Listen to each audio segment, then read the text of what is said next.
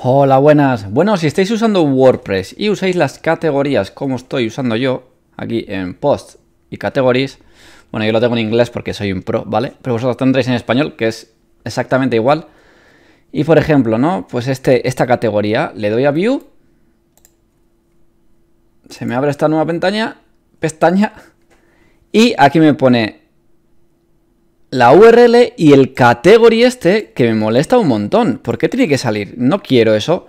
Bueno, pues se soluciona de la siguiente manera. Volvemos a nuestro WordPress. Y aquí en, en, Settings le damos a Permalinks o enlaces permanentes, creo que es en español. Y yo lo tengo en, en Postname. Bueno, vosotros aquí lo podéis poner como os dé la gana, ¿vale? Pero aquí en Optional en Category Base tenemos que poner un simple punto, nada más.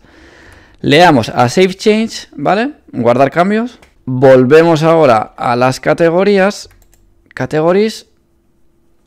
Y ahora, en el mismo, le damos a View. Y, señoras y señores, ahí lo tenéis. No existe nunca más el maldito category que no me agrada nada.